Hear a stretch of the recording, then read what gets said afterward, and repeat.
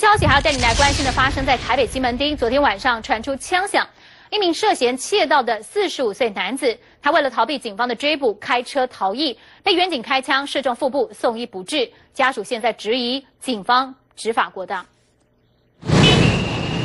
就在人来人往的西门町六号出口旁拉上了封锁线。晚上十点多，枪击案就在这里发生。一名四十五岁男子为了躲避警方追捕，开车逃窜，撞断水泥巨马，不慎冲进一旁商家骑楼。远警先朝轮胎射击一枪，再射挡风玻璃，子弹击中了离姓男子腹部，送医不治。而家属提出质疑：车子已经是静止的状况，为什么还要？